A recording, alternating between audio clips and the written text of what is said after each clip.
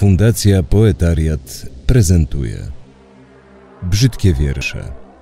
Antologia poezji turpistycznej. Wieluń 2022 rok. Natalia Owsiana-Bilska. Śmierdzi. Wyżygana wódka z resztkami wczorajszego dnia nie pamiętam okrych od moczu spodni i głowy porzuconej w kałuży krwi. Niestrawiony, leży, czekając na ostatki dnia. Wczoraj wypił życie. Dzisiaj je zwrócił.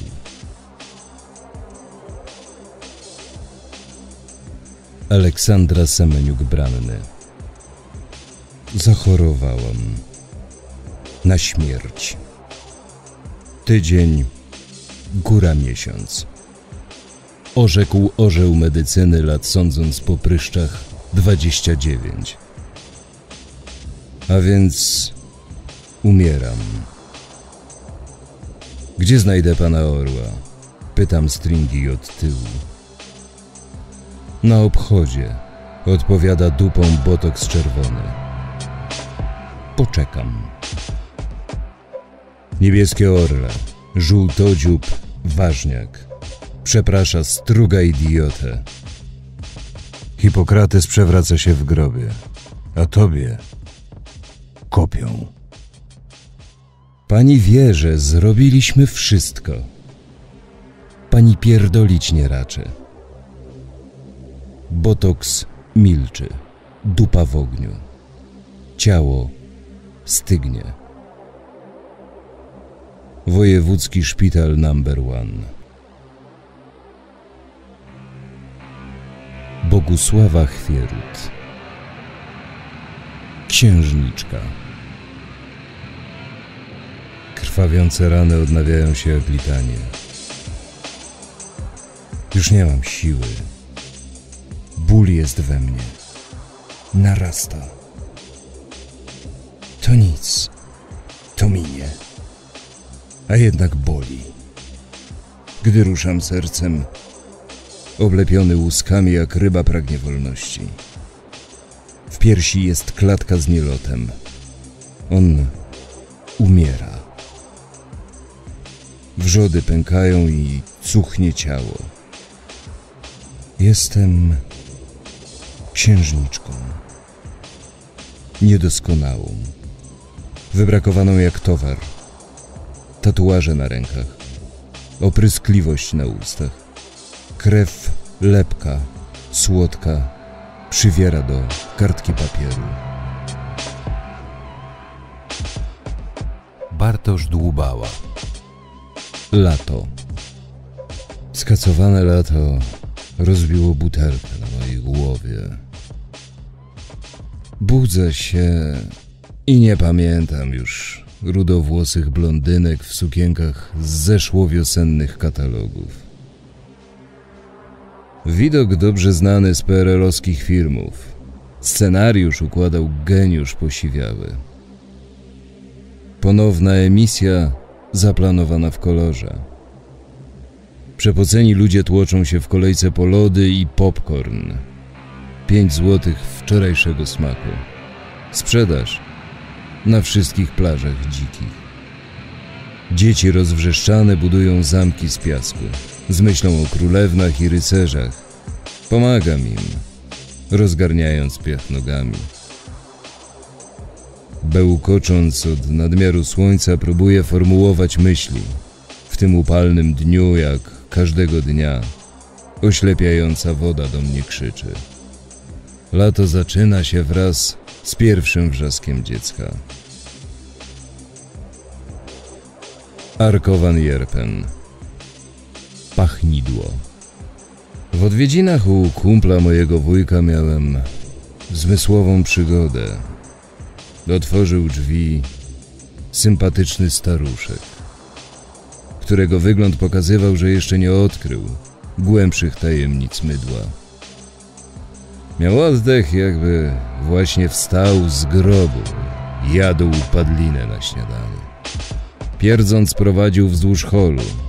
Salon wydawał delikatną nutę porządnie zapchanego kibla. Kuchnia też była pełna skarbów. Świeża ryba z zeszłej środy. Jajka przeterminowane o rok. Mięso prawie samo chodziło, choć poślizgnęłoby się na zdeptanych, lekko spleśniałych cebulach oraz obficie rozrzuconych, jeszcze wilgotnych żygach.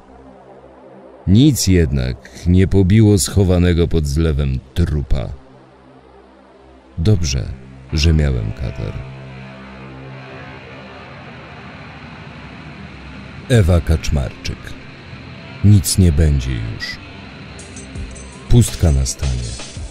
Na pieńku zgnilizna kory ostanie. Suknie zieleni, welony mgły odejdą. Zobaczę nagą przestrzeń przed sobą. Nagość w ciemności, w gęstym igliwie, bez obrazu i krajobrazu. Czarna plama na obrazie, bo wszystko przysłoniło śmiertelne lico. Światło ze znicza tylko padało. Magdalena Kapuścińska. Fuck you all. Jebał was pies. Czasami mam ochotę napisać tylko pierdolcie się albo jebał was pies. Ale to za krótkie i za brzydkie na wiersz. Zwłaszcza, że stać mnie na niekończące się poematy. Moglibyście odpisać. A ciebie? Musiałabym odpowiedzieć. Szczerze? Mnie pierdoli życie. Beznamiętnie, bezustannie i bez wątpliwości. Nie chcę w nieskończoność odcinać kuponów i podcinać wam gardeł jednym ostrym ruchem pióra. Nie prowokujcie, bo moja natura odbiega od anielskiej. Są rzeczy, które trzeba wyżygać. Tobiasz Kruk, Adue. Żyletka niczym smyczek. Przeciągnięta po żyle jak po strunie, rozbrzmiewa krwistością, co sfrunie. Z instrumentu tulonego przez policzek skrzyp krwotoku melodyjny, gdy w duecie grany. Nabrzmiały mi pięknie nastrojone rany. Tchnijmy razem brzmienie krwi. Tnijmy razem nasze brzemię, trzymając za osobne gryfy. Gerard Krzymiński 7. Zazdrość wznieca gniew. Podsycany chciwością budzi myśli nieczyste. Już tylko krok dzieli od nieprawości. Występek rodzi występek, pycha rozbudza łakomstwo, rozleniwia, pustosząc duszę już. Tylko krok dzieli od upadku. Myślą, uczynkiem i zaniedbaniem rozdaje krzyże zbyt ciężkie do niesienia. Jak co roku będą stały puste po udręczonych, którzy nie wrócą z martwych. Justyna Markiewicz Śmierć wybije ci zęby. Żebyś nie mówił za dużo, gdy umrzesz. Połamie ci kości, byś nie mógł przyjść. I może przed nią chcieć ostrzec. Śmierć wydłubie oczy, abyś nie widział, co tracisz. Śmierć przyjdzie w najmniej odpowiedniej chwili w najobrzydliwszej szacie. Śmierć do każdego kiedyś zapuka. Uszkodzi uszy, abyś nikogo prócz niej nie słuchał. Śmierć z batem ukrytym pod spódnicą. Dziś cieszę się, że mam zęby i mogę śmiać się w jej lico. Monika Milczarek chrzest. Maria miała sześć lat, kiedy babcia powiedziała: Chodź, zrobimy czerninę. Jesteś już duża. Myślała wtedy, że to zupa z wody i węgla. Tak robiły z koleżankami na podwórku. Babcia trzymała gęś przy piersi. Lekko nacięła. Skórę na szyi. Maria patrzyła im w oczy. Był tylko spokój. Krew kapała do wiadra z wodą. Wirowała. Hipnotyzowała. Maria dowiedziała się, że czerń może być czerwona. Do dziś ma mieszane uczucia, gdy czuje metaliczny posmak na języku. Łukasz Nowakowski Masturbacja Gwałcony przez słowo Z bycia poetycką kurwą Wewnątrz krwiobiegu Wypełniam Jolanta Reggel Jak to jest? Jak to jest, że świnia wstydu nie ma? Ryjkiem się przepycha. W chlewie koryto zatwierdza, przekonuje i utwierdza. A ty, człowieku, słuchasz i nie wiesz, czy się śmiać, czy gorzko zaszlochać. Świnia jak świnia, ryje. Dla ciebie zostawi pomyje. Wszystko dookoła gnije, w luksusowym chlewie żyje, a my czekamy i nigdy się nie poddamy. Z nadzieją na lepsze jutro. Niech skończy się to szybko. Katarzyna Brus-Sawczuk Ofiara Nie zaleje jej krew ani brudne sumienia.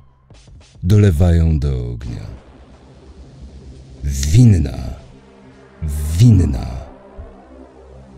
Nie ma pogarda na strach. W szpitalnym łóżku żebrze u niemiłosiernego, aby zapomnieć ból. Nie wyda na świat potwora po tamtych, ducha świętego z cuchnącym oddechem.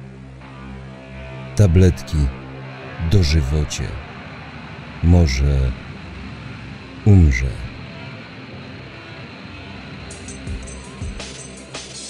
Jolanta Stelmasiak Jutro spadnie deszcz. Zabijam szczura. To demon. Ciągle wyłazi z przeszłości. Nie lubię zabijać we śnie, bo tam zabity wychodzi ze swej nory na jawie. Przepełnia głowę i myśli. Jest wszędzie. Trudno sadzić kwiaty. Gasi barwy i zapach. Usycha trawa. Wszędzie twarze umarłych. Jutro spadnie deszcz. Jolanta Szymańska Ból drąży. Ból drąży dół, głęboki jak grób. Z ulgą na dnie, że to już koniec. Lecz to nie koniec. Ból drąży dół, głębszy niż grób. Drąży, aż znajdzie, aż sens się stanie. Dariusz Wyrubel, pan nikt. Czuję się nikim, nawet stojąc między innymi, którzy tak jak ja zabłądzili po środku nigdzie. Nawet kruki jednookiego zawracają tutaj, żeby na nas nie patrzeć. Nie ma co ukrywać.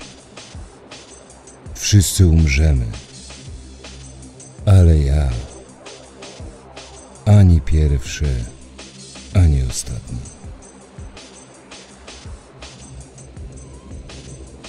Andrzej Wróblewski Ballada o wampirach Raz wędrowali sobie ulicą. Obleśny wampir wraz z wampirzycą. Oboje strojni w szmaty, gałgany, z włosem niemytym i rozczochranym. Cery przywiędłe, szorstkie, jak kamień. Zęby zużyte częstym zgrzytaniem, żółte, spruchniałe i wykrzywione. Wargi wydęte z fioletu tonem, za to kły rosłe, ostre jak szpada. Dzięki nim mieli przysmak nie lada. Spod każdej skóry płynął obficie czerwony koktajl, dający życie. Pewnego razu, w stacji krwiodawstwa, Niepomna swej żądzy obżarstwa, para wampirów tuż przed północą wchłonęła krwisty zapas. Ochoczo. Chciwość to źródło zgubnej podmioty. W ręce policji wpadli, niestety. Więc zamiast zgłębiać krwi aromaty, mogą najwyżej obgryzać kraty. Dorota Zbudka Na magicznej ulicy Legionów Na magicznej ulicy Legionów Na jej poddaszach i w jej piwnicach była sobie i mieszkała podstarzała, smutna dziewica. Ciągle suknię ślubną prała i wieszała. Wiatr ją muskał, a deszcz moczył. Patrząc z okna, łzy wylewała. Najpiękniejsze lata los już wypłoszył. Co ugrała, to ugrała. Młodość cudną, amantów wielu. Lecz czar przepadł, gdy jej matka spiła się na weselu. W pijackim transie gości wygnała. Wykrzyczała im co nieco. Welon pannie młodej z głowy zerwała i uwiodła pana młodego. Za pieniądze od weselników hulała wśród miejskich zagajników. Wszystkich staczy z bram podrywała, a panna młoda ciągle płakała. Gdy straż miejska mamusie schwytała i zawlokła ją do ciemnej piwnicy, podarty welon wrócił na poddasze, ozdobił lico smutnej dziewicy.